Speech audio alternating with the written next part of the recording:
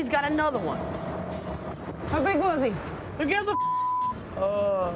This is his fifth fish, and it is so frustrating to know he's got another damn fish on that boat. Yeah, to make things worse, it's like all the life that was around us is it's gone. There's not a single mark on the machine. It's just frustrating. Damn. Looks like TJ in front of us. Yo, Dita, look, there's sexy Jared. I see that cutie pie over there. We'll have to get over there close to him so I can blow Jared some kisses. Dita has a crush on Jared. That's not a big secret around these parts. Oh, I'm watching you. We hear it every day on the boat.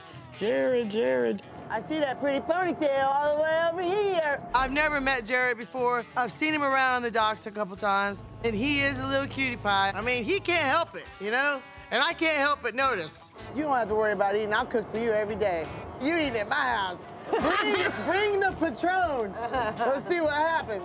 You get that boy so messed up he won't know how to catch fish.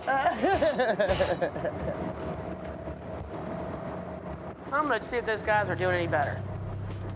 TJ, out there. Tammy, Reel Action. How you making out? Ah, I'm just frustrated. We're all in the same boat. No, we're not in the same boat. You got fish. I don't have any fish. Tell Dita to jig it harder. We've been jigging like hell all day. I don't know. Gentle with it, Tammy. Easy.